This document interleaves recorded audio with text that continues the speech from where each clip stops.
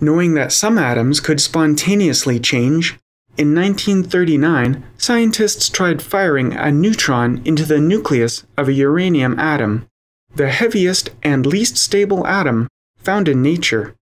Instead of a minor change from one isotope into another, the uranium atom split into two parts.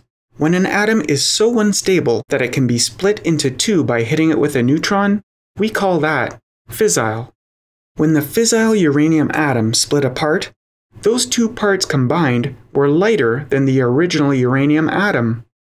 The missing mass was converted into energy. Also released were two neutrons. One free neutron has become two free neutrons. Now we have two neutrons. This implied a nuclear chain reaction in uranium.